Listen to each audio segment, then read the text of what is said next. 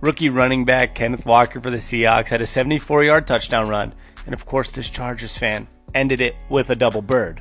But this is not the best part. Not only did he kind of wave back at her while she was clearly hitting him with the double bird, he went ahead and made it his Twitter profile pic. That's legendary stuff by Kenneth Walker. And he's actually very good at football, so go Hawks.